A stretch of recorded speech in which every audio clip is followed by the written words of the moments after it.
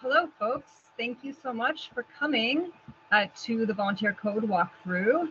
Samuel is our lead developer at Trufi Association, and he is going to walk through the GitHub, explain a little bit about what the, the Trufi core GitHub is, what the, what the architecture is, and how you can get started if you are interested in becoming a volunteer developer for Trufi.